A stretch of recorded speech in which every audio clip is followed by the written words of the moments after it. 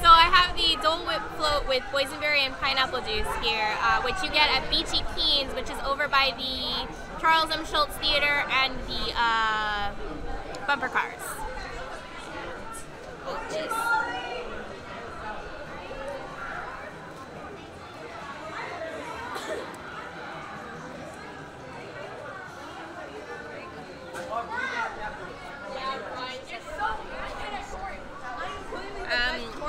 It just it just tastes like pineapple.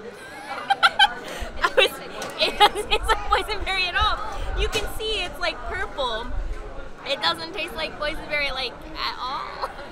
So uh, this kind of just tastes like the if you've ever been to Disneyland and gotten the Dole Whip float there, it tastes just like that, but it's purple.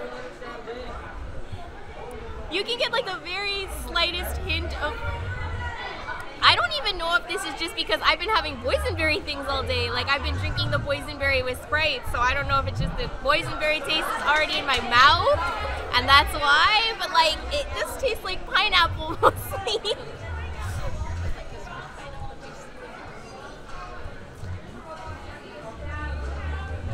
yeah, it just tastes like pineapple.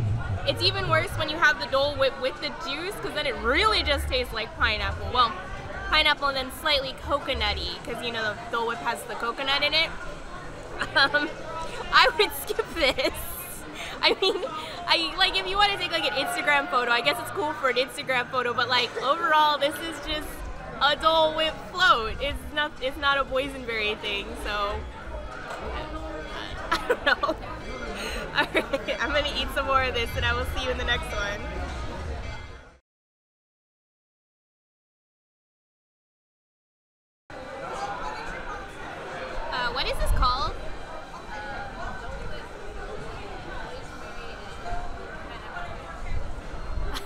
Okay.